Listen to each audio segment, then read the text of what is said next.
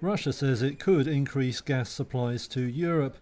That's if a key turbine used in the Nord Stream 1 pipeline is returned from Canada, where it is being serviced. Ukraine has opposed any such return, saying it would violate sanctions on Russia.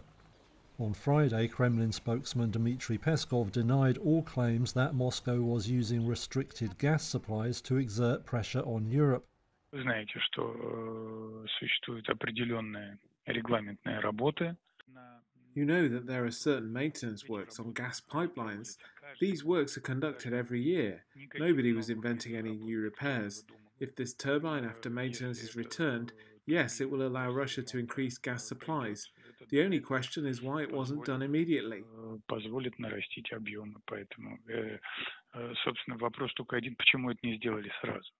Separately Friday, oil appeared to be flowing down the CPC pipeline that carries crude from fields in Kazakhstan. That is despite a Russian court ordering it to halt operations. It normally transports about 1% of the world's crude. A report seen by Reuters showed that ships were still loading oil from the pipeline as of Friday.